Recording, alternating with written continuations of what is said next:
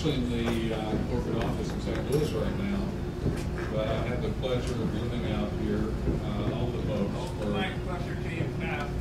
uh, I had the pleasure of uh, living out here for a number of years, and I was uh, the hotel manager on this boat and the executive director.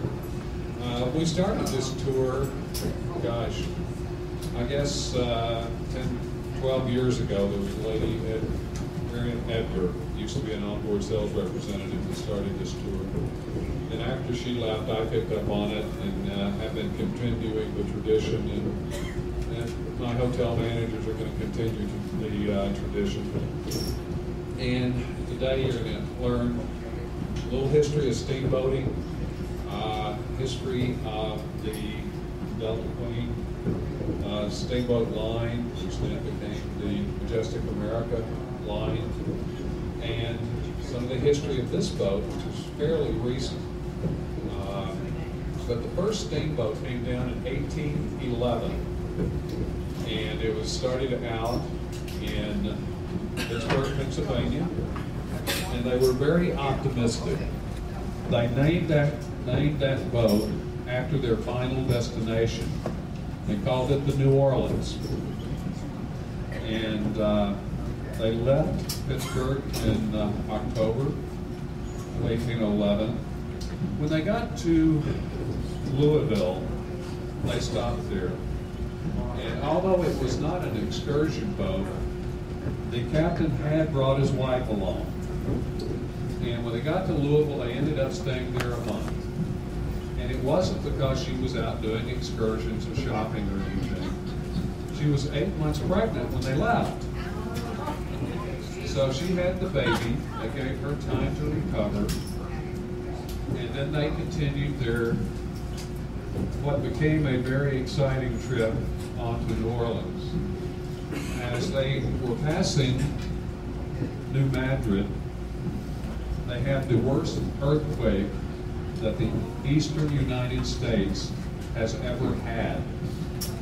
They tell me the river flowed backwards at times.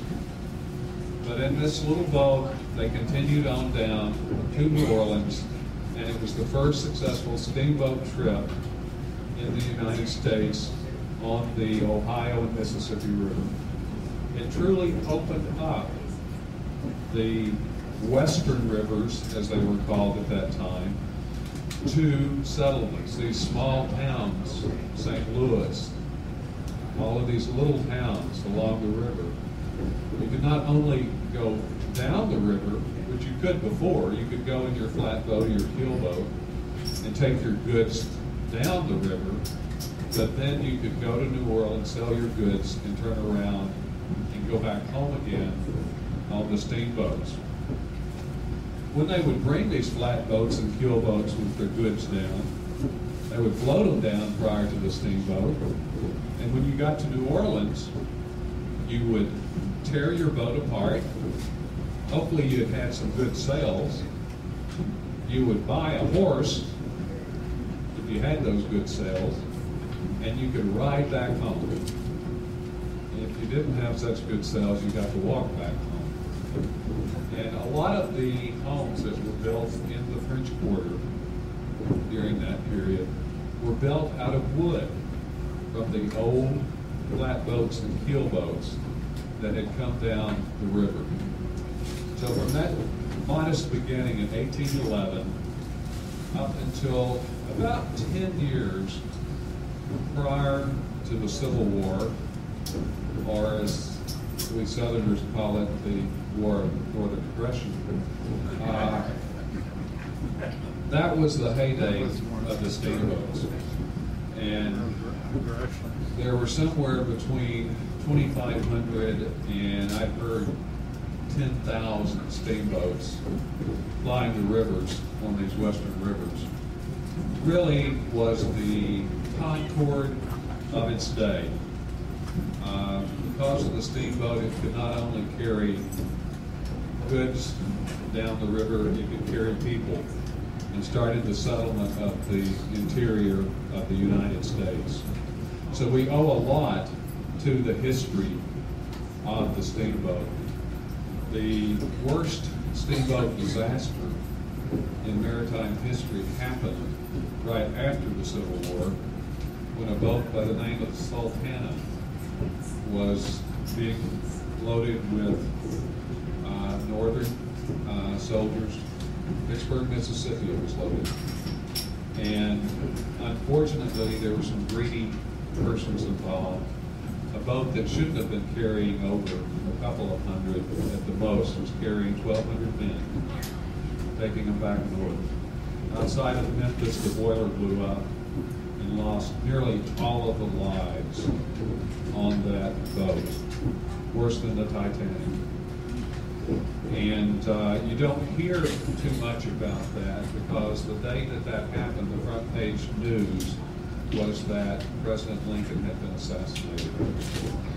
So uh, the Sultana was, was not the front page news. I'm sure it would have been, and we would remember it a lot more, hear a lot more about it in our history had not the terrible assassination had happening at the same time.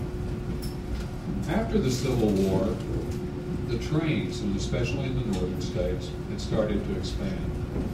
And they could go to places that the riverboats couldn't go. And they didn't have to depend on the water level. They didn't need a 12-foot depth that the Corps of Engineer guarantees us. That is, if you'll take a government guarantee these days. Uh, but we also don't know the exact count because we didn't have the Coast Guard regulating the boats in the early 1800s. So you didn't have to register your boat. You could build a boat and operate it. So you didn't have the government uh, bureaucracy that is very good about keeping records uh, to know the exact numbers that you had in those days. But after the Civil War, the uh, steamboats started declining. And another incident happened with the railroads. And uh, as they expanded, they started building bridges. And they would build bridges across the river. Well, as you can see, if you've seen these tall stacks that we have, uh, and are historically correct in that the old steamboats also had very tall stacks because they wanted to get the embers, although we're not burning wood or coal, but uh, they wanted to get the embers far above the cotton or the wood or whatever product that they were carrying on their boat. Remember, these are all wooden boats in those days. So they couldn't go under the bridge. So that started stopping riverboat travel. And uh, someone you may remember in history represented the railroads on the side of that court case. And this young attorney won the case on behalf of the railroads. His name was Abraham Lincoln. And uh, after Mr. Lincoln won that case, the steamboat men, being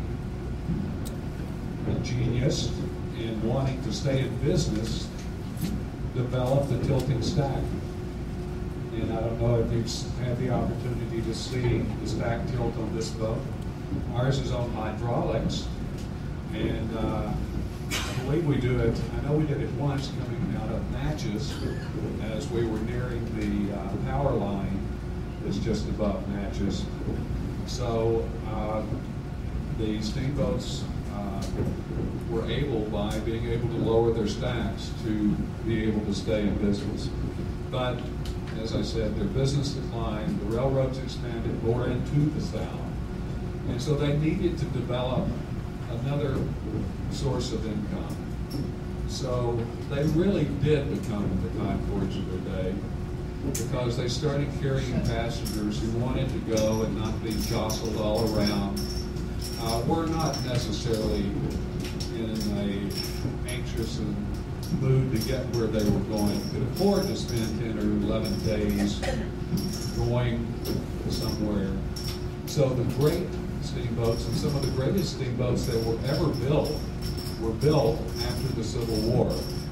The J.M. White, and if you recognize that name, you're having dinner at the J.M. White Dining Room.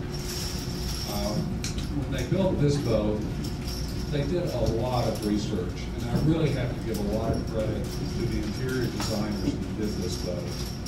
Uh, we had the Delta Queen at that time, if you haven't been on it, is just terrific little boat. We're going to talk a little bit more about the Delta Queen while we're on tour.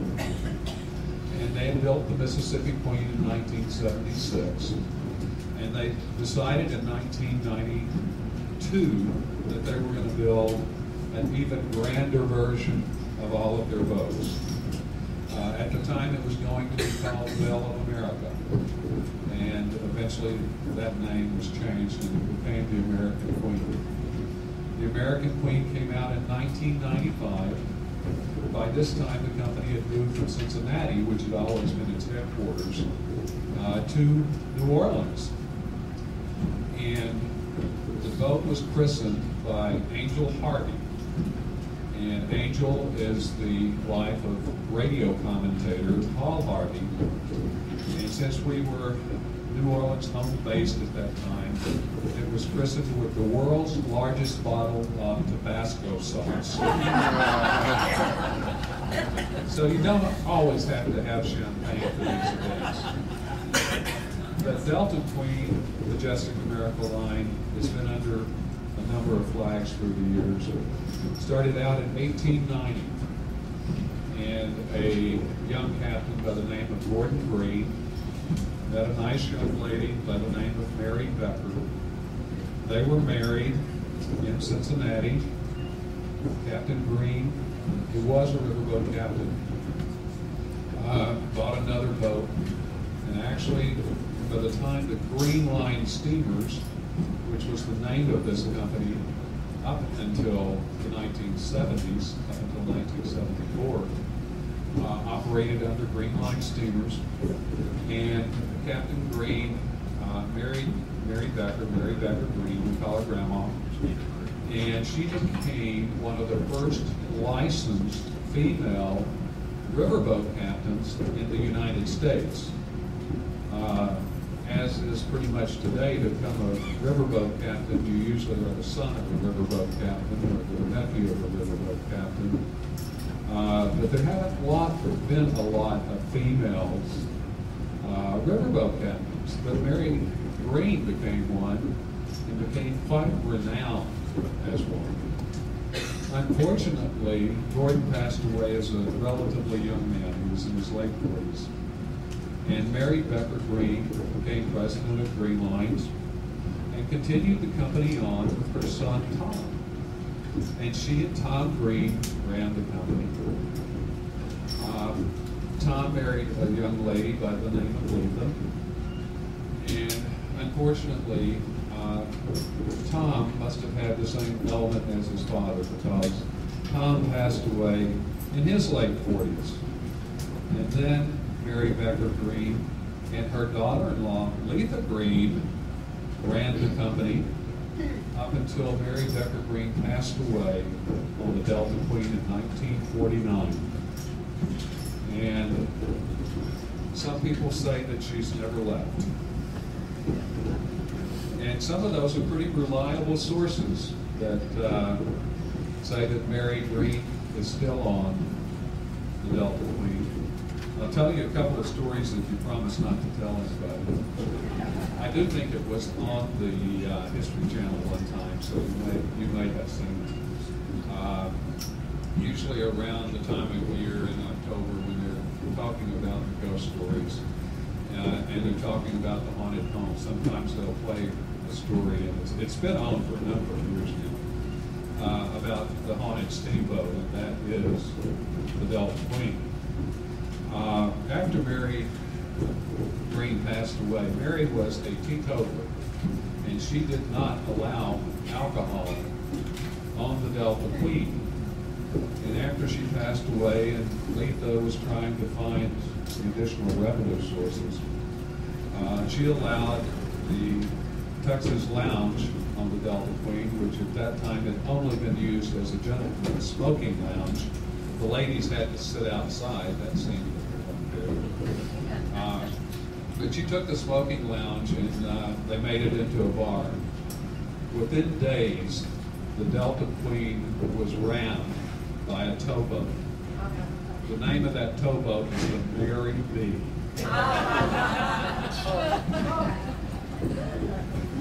we have a captain that worked up with us up until very recently, up until this past year, and he retired, Mike Williams. Uh, we have what we call our layup period, usually in December or January, where we take the boats in, we can put in our new carpet. If we need to do a dry dock, we'll do it during that period.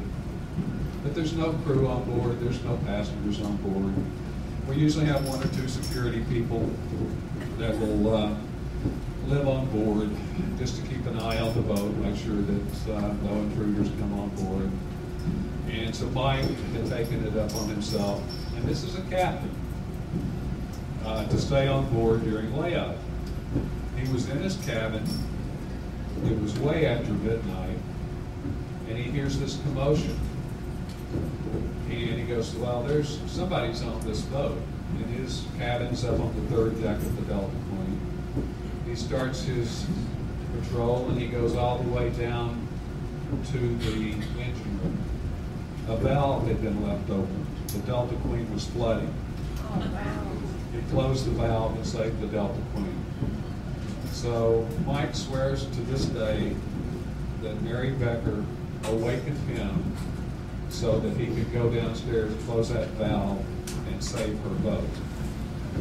So uh, those are just a couple of the stories. Uh, Marcy Richardson, who worked for us for a number of years as uh, one of our historians, swears that uh, she has seen Mary Green walk through the uh, Betty Blake Lounge as uh, she was on the boat, uh, quietly reading in that area. So uh, I personally have not ever seen Mary Becker Green on the boat, but if if she is there, she's a very kind and benevolent uh, friend and, and a good ghost. So uh, that's the story of Mary Becker. The women have very, been very influential uh, in the running of this company ever since uh, Gordon Green passed away uh, with, uh, with uh, Mary Becker. And then Letha Green ran the company up until 1974. She then went into partnership. She was uh, losing money. And she sent out a letter to all of her passengers for the next season saying that, you know, I'm terribly sorry if you booked with me for next season. Uh, we're not going to be able to run the Delta Queen any longer. We're returning your deposits. Well, there had been a gentleman and his family on the previous season. And he lived in California, and at dinner, he was telling his kids that they were going to have to cancel their vacation the next summer on the Delta Queen. As kids are known to nag every once in a while, I think I one or two. Uh, they start. They had such a great time the previous year. They started nagging their dad. Said, "Why don't you do something, Dad? You can help this lady. That's such a wonderful boat. That's such a great vacation." And he goes, "Okay, okay. I'll I'll send her a letter and see if we can do something." Well, he did. They ended up forming a partnership. This gentleman was a very wealthy individual by the name of Simonton. Uh, his claim to fame was he invented Muzak. So he was a man of means. He was a calliope enthusiast. And so he became the operating partner with Letha and uh, had the uh, calliope put on the Delta Queen. Letha never wanted to put a calliope on the boat. She always felt that it would keep the passengers awake. Uh, it really wasn't needed. Uh, they had calliopes in those days. The calliope has its own, own history. But Letha never had one on the steamboat. So uh, the showboats had them, but not Letha's boat. So anyway, he was the managing partner. Obviously, he was into music. He was a steamboat enthusiast. So he insisted that they put a calliope on the Delta Queen. They did, and they started playing the calliope as they would go into port. They played the calliope as they left the port. They played the calliope as they went through the locks. People would come down to the locks to see the boats and listen to the calliope. And it was really an ideal marketing plan. It revitalized the company, and they were able to keep the company, uh, and the company survived. Uh, after Mr. Simonton was with the company for a few years, it was taken over by Overseas National Airways. Uh, they ran the company, uh, decided that airplanes and steamboats necess- necessarily fit together. Sold the company to Coca-Cola of New York. Uh, they ran the company for a while. In fact, uh, during their administration was when they when the Mississippi Queen uh, was planned and brought out in 1976. Finally, Coca-Cola uh, out of Atlanta, the main company, decided that you know you need to pay attention to Coke and don't worry about this little steamboat company, so get rid of it. So they did. A gentleman out of Chicago by the name of Sam Zell purchased the company. It became a publicly traded company. Did very well with the Delta Queen and the Mississippi Queen. They built the American Queen, as I mentioned, in 1995. Everything went very well until 9/11. By that time, the company had not only had these three little boats that were very successful, uh, they had expanded into Hawaii and had two cruise ships that were running into Hawaii. Well, they were so successful in Hawaii that they felt they needed to build a new boat for Hawaii. They brought in, I'll tell you some stories probably else, brought in consultants was because of the size of the boats that were going to build for Hawaii. They were what we call blue water. And uh, they said, if you're going to build one boat, why not build two? They're only a half billion dollars each. And 9/11 came along, and nobody, I mean nobody, was flying to Hawaii. And we had this debt of two large ships at a billion dollars, and this little company could not support uh, that debt, so it went into bankruptcy in 2001. Uh, was in bankruptcy for about six months and was the first cruise line ever to come out of a bankruptcy. The court approved us uh, our reorganization plan. We came out with the Delta Queen and the Mississippi Queen in May of 2002. And we were sold or purchased at auction from the bankruptcy court by a company out of Buffalo, New York, by the name of Delaware North Company. Very large in the hospitality business, uh, have airport food services, have a number of the stadiums. They have a stadium in, in St. Louis, which is uh, my home, uh, and they are geniuses at selling hot dogs. And, uh, and they run a lot of fine, fine uh, operations, including uh, some of the national parks. They have some of the concessions in the national parks. They have some of the hotels in the national parks. And so they got into the steamboat business. Uh, personally, I feel they had some difficulty with the marketing that you have to do to build these boats. And then we had another catastrophe called Katrina.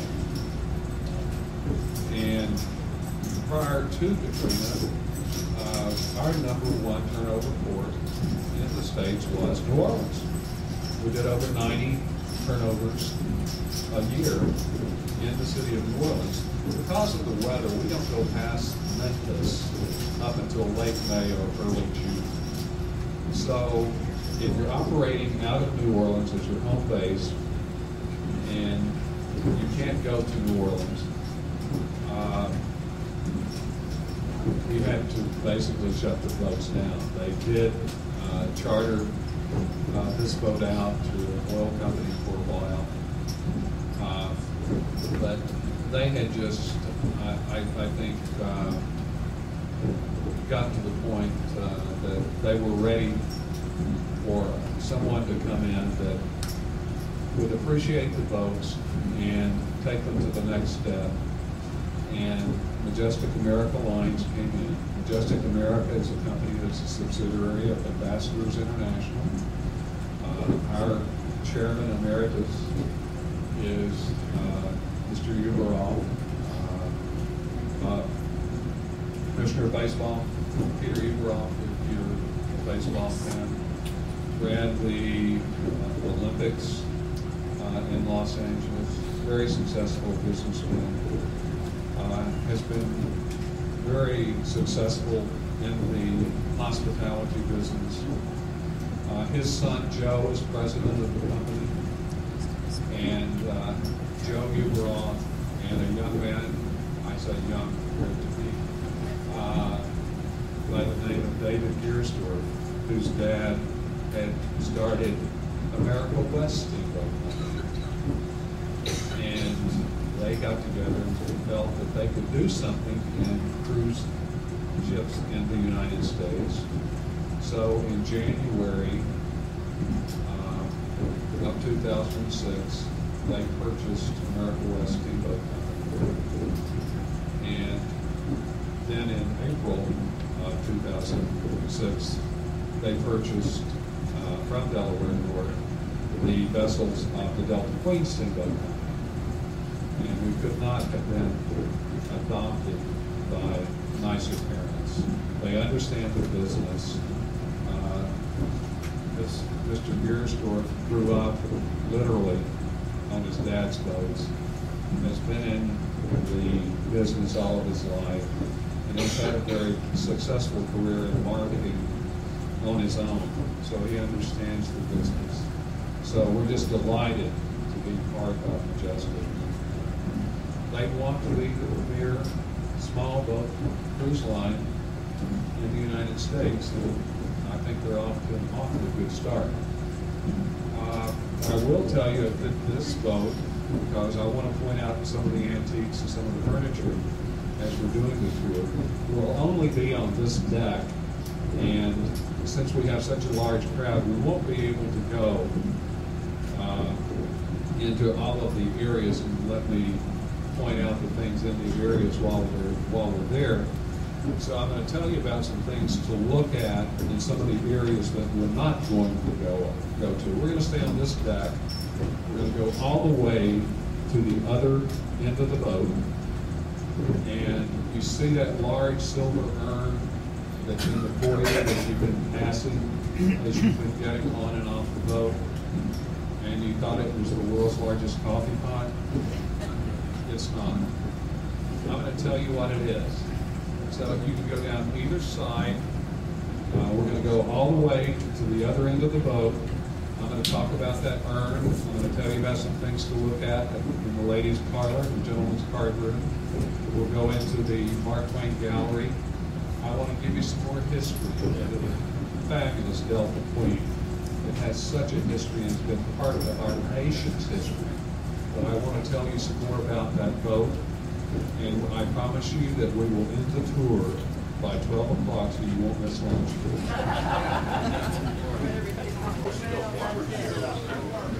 What, what happened to the Hawaiian ships? They lose them? Well, Is that the- part of it now, right? The, no, uh, they, they are not part of it now. The Independence was put out of service in two thousand Here, I'll and try to six. find your Because it, no- it was boat that was thirty years old, no longer It goes met. SOLAS regulations. right, I'll be careful. So the two Norwegian boats that are sailing in Hawaii now are boats that were about fifty percent constructed They took when we went into bankruptcy and they bought the boats and had, they're the only boats that they have that are American They're still the same boats then. Yes, same design. We had already designed them. They were halfway built. Didn't one on the East Coast not come up, up that the East Coast? I- That different line again? That's a different line. Uh, this is our foyer area, very typical of what you would have seen in the 1850s when you joined your riverboat cruise. This is, uh, let me turn, it'll start squeaking if I turn it up too loud, but we'll see if we get a little more power. If y'all want to, you can move in just a little bit. We're all family by now. But very typical of what you would have seen if you had come on to cruise in the 1850s. But when the designers did this in the 1990s, they wanted to give you a few features that you would not have had in the 1850s. You would have not had the electric lights. Uh, you would have not had hot and cold running water in your cabin, and you would have had a chamber pot next to your bed. So you can just get carried away with that authenticity thing. The urn that you see here is a reproduction. It was done for us by Reed and Barton Silversmiths. I tried to have it replated a few years ago. It's so large, nobody makes a vat large enough to replate it.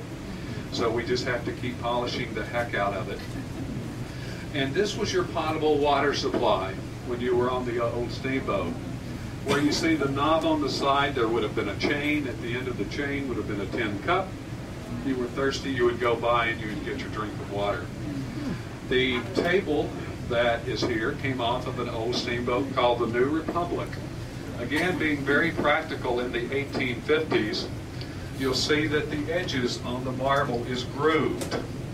That's so if you spilled your water on the table, it wouldn't run off on the floor. I'll tell you another little story if you promise not to tell anybody. During one of our layup periods, the urn was off, the table got tipped, and the marble was cracked. And I went to a marble company in New Orleans and said, I want a brown marble to match the marble that's on the table. I want to have it grooved, and I want the top replaced. What are you going to charge me?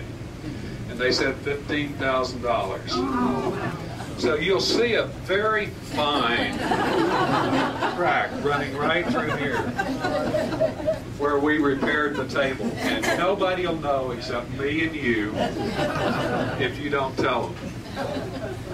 I want to tell you about the ladies' parlor. There's so many of us. We won't go in there, but I want to give you some of the history of it. And you can go back later and investigate. The finest piece of furniture in there is the old pump organ. It's called a melodeon. It's 156 years old. The room was designed around the mantelpiece. The mantelpiece came from an old plantation home that was being torn down in St. Francisville, Louisiana, where we were a few days ago. Uh, the designers felt it was such a beautiful piece that they designed the room around the mantelpiece. The blue sofa in there is a reproduction and it's called a swooning couch. And that's in case the ladies got the vapors. Now, the ladies laugh because they know what I am talking about. The men are just staring into space because what's the vapors? Well, you get the vapors if your corset is too tight. And I haven't had a lot of people use the swooning couch because I don't guess ladies wear the corsets that they used to wear in, in those old days. There's a very small desk in there, a ladies' writing desk. It's also an antique. About 50% of the furniture you see in the public spaces is antique. The balance of it is reproductions of the time period in the gentleman's card room, uh, the fish that is over the, I call it the eagle sofa, that's called a tarpon. That fish was caught off the coast of Galveston in 1895. Uh, we also have the bear in there. Uh, the bear is over 100 years old. It's not politically correct today to go out and shoot bears, and, and we didn't have anybody do that. But uh, the bear is an antique, and the pictures that you see around the area where the bear is are pictures uh, depicting Teddy Roosevelt. And when he refused to shoot the baby bear that was tied up, and the teddy bear got its name. Uh, of the lamps that you see around the boat, uh, they are mostly reproductions. Uh, two of the larger lamps, and I think I've got one of the larger lamps off, off for repair. There are two actual Tiffany lamps on board, but the remainder of the lamps are Tiffany lamps. But they are Melinda Tiffany, and Melinda is a niece, or grandniece, I guess now, or great-grandniece of the original Tiffany family. Uh, she has been in the business her entire life, and uh, so They are Tiffany lamps, but they are not the original Tiffany company lamps. The wallpaper that you see in the gentleman's card room, that you see in the J.M. White dining room, if you're from California, you might recognize the name Bradbury and Bradbury. Uh, it is all hand printed. Uh, will average about $55 a running foot for uh, wallpaper because we've had to replace some of it, and I can tell you from experience. Uh, and this paper has been here since the boat came out. So uh, the designers uh, did a gorgeous job in finding papers. They have been making these papers in the Bradbury Company uh, since the 1800s. They still have their old prints, and it is all hand printed. If you ever get the chance, it's right out of Sacramento, California. If you're ever out in that area and get a chance to go to the Bradbury factory, they do tours of the factory and show you how the paper is hand printed. Uh, I've also seen uh, a story about the Bradbury family on the A&E network. So if you ever are flipping channels and they're talking about Bradbury and Bradbury paper, you have seen it up close and personal. This is also a Bradbury paper that's here in the foyer. What we're going to do now is we're going to go into the Mark Twain Gallery. I'm going to stand in front of that model of the Delta Queen, point out some of the antiques there, and talk about the grand history of the Delta Queen.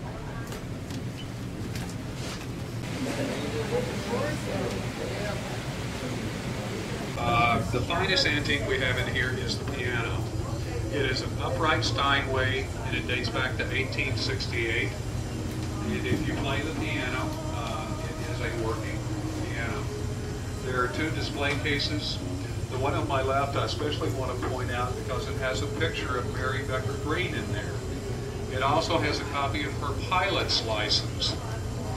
And if you read that license carefully, it says something to the effect that this is to certify that they've written in Mary B. Green, he is licensed she was one of the first, and they weren't going to reprint the form for her.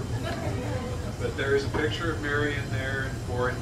There's also a picture of the J.M. White, the grand hall of the J.M. White. You will see where our designers got the inspiration for our J.M. White dining room.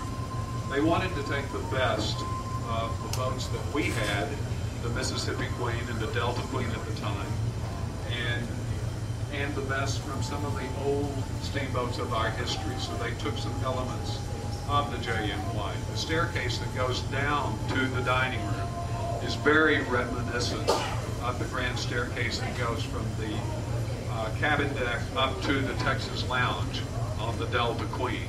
So we took many fine items other boats. Uh, you'll see an Olympic torch in there, and that's relatively new when they had the Olympics in Atlanta, the last Summer Olympics, I believe, that had in the United States.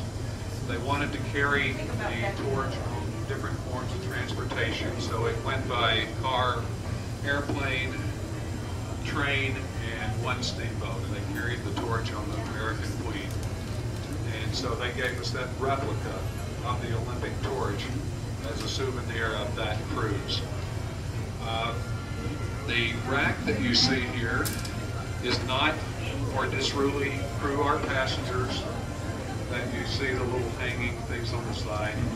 Uh, that uh, rack came out of an old library, and they would hang the newspaper on the wooden spindles that come down, and the spindles were used to separate the pages of the newspapers. Now that we have uh, CNN in the cabins and all of these channels, uh, we're not quite as reliant on newspapers as we uh, used to be. Every time we'd stop at a port, we would run out and grab some newspapers. We still do, but we don't get as many as we used to. The other display case is all dedicated to showboats. Showboats are rich in river history, but the only showboat that was ever a steamboat was on the MGM lot in California when they filmed the movie. They were barges, and they were pushed up and down the river. They were showrooms that were built on a barge. Many times the captain of the towboat would own the boat, but uh, they were truly not steamboats. but they have a rich history, very closely tied uh, to what people envision uh, a uh, steamboat in that era to be, mostly because of the movie Showboat. This is the Delta Queen. Uh, the Delta Queen was built in Stockton, California. Started in 1926 and came out in 1927. Was a twin boat. Two boats built at the same time to the same exact specification. The keel was made in Scotland, taken apart, brought to the United States, all of the rest of the boat was constructed out of wood in Stockton, California. The boats ran between Sacramento, California and San Francisco. They would leave at 6 o'clock in the evening from the opposite port, pass in the night. And the next morning you would wake up in the opposite city. They operated on that route up until World War II. World War II came along, both boats were drafted. They went into the service of the Navy. The Delta King was set up as officers' quarters in the bay, and the Delta Queen was used to ferry the young men uh, from the various ports, wharfs, out to the big ships that were coming into the bay. After the war, the Delta Queen, or it was called, it wasn't called the Delta Queen, but presented new challenges. Helping to coordinate this gigantic effort was Linda Landesberg. The design team did about two years worth of research and investigated all of the older steamboats, the great ladies of the of the rivers from the 1800s, of course the J.M. White with all its magnificent furnishings and interiors, and for the exterior, the Grand Republic was the main model. Uh, we also took a lot of information from the Mississippi Queen and the Delta Queen, which of course are our, two of our favorite steamboats, and we incorporated our favorite things and what our passengers' favorite things were about those vessels. And we had a gentleman named Stuart Gordon out of Los Angeles that actually traveled all over the country and would send us photographs every week of all the antiques he found, and we'd apply them to different spaces as we had the rooms planned and laid out. Back at the shipyard in Morgan City, the American Queen soon outgrew the construction shed that was her nativity. In early July 1994, she was placed on grease skids and slowly, carefully, brought out to meet the world. To those eager to stand back and view her in her entirety, her slow crawl seemed to take an eternity. In fact, it took two days. We like to think it's wanting to go to, towards the water, into its natural state. Uh, any vessel this size up on the land is a bit of an unnatural uh, surrounding for it. A month later, her dry dock was carefully, slowly submerged, and her hull deemed watertight. She had passed her first test and rested gracefully in her element. She's all yours. Her massive 50-ton, 30-foot wide paddle wheel was fabricated in the construction shed where she had been born and was laboriously positioned and gently lowered into place in her stern. On August 22, 1994, dignitaries once more gathered at Morgan City to celebrate another milestone in the life of America's newest steamboat. It was the American Queen's blessing, and once more, former Congresswoman Lindy Boggs would be on hand to mark the occasion.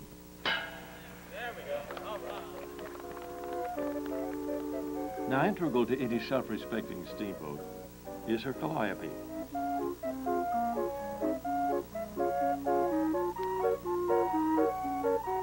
The Delta Queen Steamboat Company turned to Dave Moorcraft in Peru, Indiana, who fabricated and installed the American Queen's beautiful set of 37 shining gold-plated whistles and the keyboard on which they're played.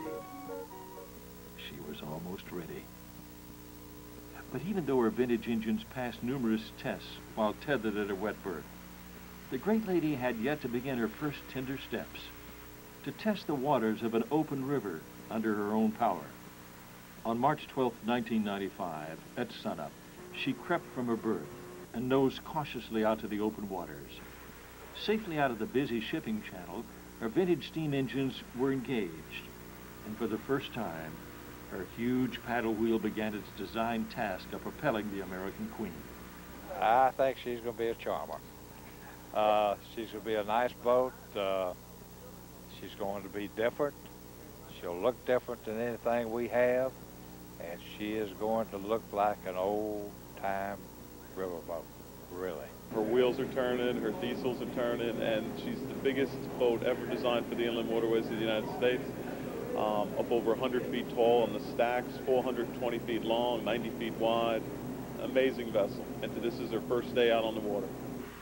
The sea trials proved the American Queen's capabilities, but they also proved much more.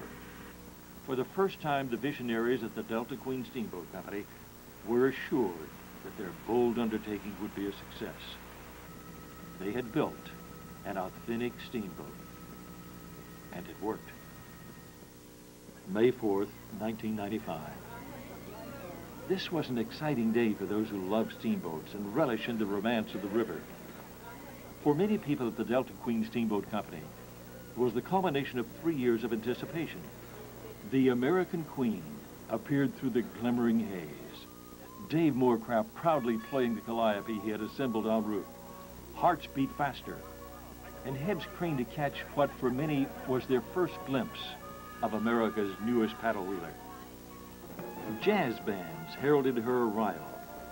Her masters, Captains Lawrence Keaton and John Davitt, formally presented her to the people of the Delta Queen Steamboat Company and the city of New Orleans, who so eagerly awaited her. right now, on behalf of Captain Davitt and the crew of the American Queen, I would like to present the American Queen to the Delta Queen Steamboat Company, the employees and their families, and the city of New Orleans.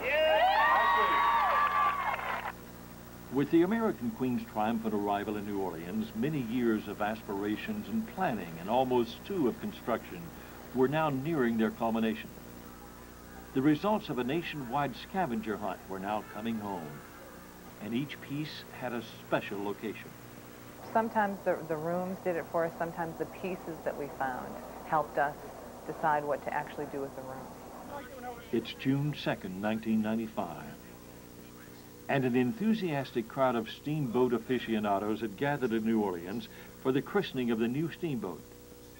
Angel Harvey, wife of ABC radio commentator Paul Harvey, both veteran steamboaters, snipped the line that sent the world's largest bottle of premium Tabasco brand pepper sauce crashing into the bow of the American Queen.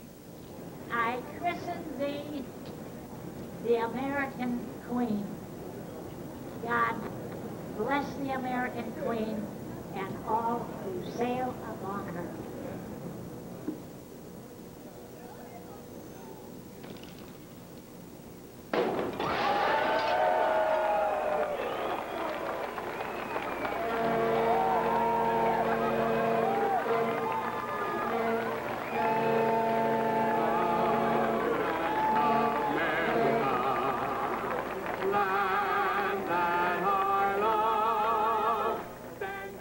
Yes, this was a distinctly proud American moment. She's spectacular. I can't wait to show her off to America. That's what I'm really looking forward to. She set sail the next day on the first of several short shakedown trips that progressively took her upriver to Pittsburgh, the starting port of her inaugural cruise. She was greeted with enthusiasm at each new port she visited. And here she comes. If you're anywhere within the sound of my voice and you want to see the most beautiful riverboat ever built, if you want to see history come to life right here in Natchez, Mississippi, then you need to come on down. Bands played, moms and dads, grandmothers and grandpops, big kids and little kids. They all teemed down to the levee to welcome the river's new monarch. Sometimes they'd turn out by the thousands, each with a special place in their hearts for this very American lady. On Saturday, June 17th, she tied up for the night, a routine steamboat practice called choking a stump. Little did her crew realize the rate at which the level of the Ohio River was dropping. For the next three and a half days, her unplanned beach party was the focus of the country, and certainly great entertainment to the people of Troy, Indiana, across the river from where she was stuck. But there's something about steamboat that stirs the soul. Folks rushed to the riverbank in mobs to cheer her on when, free at last, she continued eastward towards her Pittsburgh inauguration. All along her route, folks again streamed down to the river to cheer the Queen on. On June 27th, her tribulations behind her, the American Queen proudly underwent her inaugural ceremony, signaling the start of her 16-night inaugural cruise, a journey that retraced the steps of the first significant steamboat voyage, the 1811 cruise of the steamboat New Orleans. As history often does, it repeats itself in this feat. For helping inaugurate the nation's newest steamboat was a great great-granddaughter of Nicholas Roosevelt, master of the gallant New Orleans. And aboard this historic trip was another Nicholas Roosevelt, the captain's great-great-grandson and namesake, along with his wife Lydia. Midway through the 16-night odyssey, beneath the famous St. Louis Arch, the American Queen joined her sisters, the legendary Delta Queen and the magnificent Mississippi Queen, in an historic first gathering. Each passenger on the American Queen's inaugural season cruises felt the historic significance of their participation. They too are part of the fabric of America's rich historic tapestry. The names of every passenger on this first inaugural cruise will be permanently engraved on the American Queen's bell. With every peal of that bell as the American Queen travels the rivers in the years to come, their names will ring out as very important persons in the history of steamboat. The American Queen is the grandest steamboat that has ever been built. She is virtually a 20th century time machine that takes people back to the 1900s and relives the full grandeur of Mark Twain's Mississippi River. When her passengers stepped aboard for that history-making 16-night journey to New Orleans, her opulence and beauty more than surpassed their already high expectations. Beautiful, like in our room. Oh, I mean, it's amazing how they could collect so many uh, antiques, and they are beautiful. And it does make it uh, uh, sort of like you see in movie pictures of the old southern uh, mansions. We're lucky to have one of those rooms that have a veranda on the outside so we can sit there and watch the country go by, and I, we spend a lot of time there. It's really what I like about river boating is that sort of thing. My husband is a history buff, so the historical aspect of this whole trip has been particular interest to us. As I go around through different areas of books, I'm picking up just unique things that I've never seen before. Each place aboard the American Queen is special. Each room an experience. Her dining room was inspired by the graceful main cabin aboard the J.M. White. Once more, the 20th century meets the 19th. From a shiny modern galley to an elegant steamboat Gothic dining room comes an endless array of mouth-watering temptation. The American Queen features intimate lounges, where following Victorian and steamboat etiquette, ladies once would retire to the parlor to sip tea. Gentlemen would repair across the vestibule to their own card room, smoke cigars, and engage in a few hands of poker.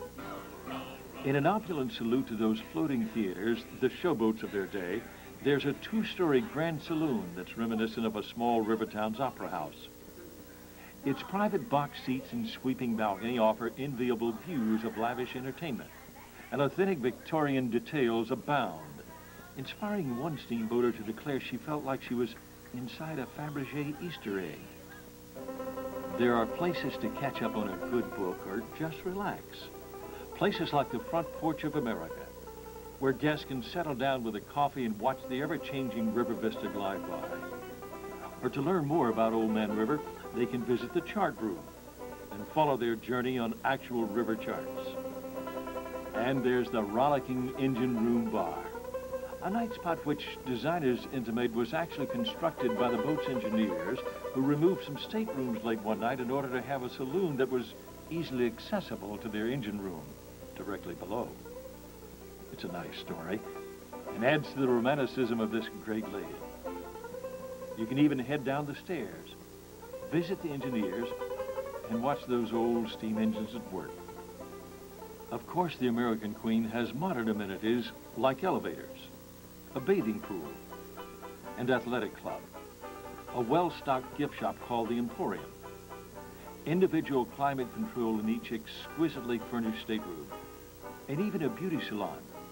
Yet our roots are firmly anchored in steamboating's golden age. Yes, each room tells a story. But together, they're the story of the men and women who dare to dream. Maybe for them, there's a special place in the boat where all their dreams seem to come home. It's a gallery, appropriately named for Mark Twain, which houses a collection of riverboat artifacts and a 600-volume library of vintage reading material, including many works by Mr. Twain, whose chronicles of river life, even when disguised as fiction, vividly recreate the glories of steamboating and life on the Mississippi. So now the Grand American Queen has established her presence in America's rivers, steaming not only into the many historic, charming towns and cities that line their banks, but also into the hearts of the people of these communities, and into those of the passengers who traverse her elegant rooms and relax on her spacious decks. These special, stalwart, and hardy people who answer the river's call, who go where it takes them, who proudly call themselves steamboaters. It is for people like these who come back again and again to relive the legend of steamboating that the folks at a relatively small but enthusiastic American company of dreamers and doers work so tenaciously to see generations of dreams come true.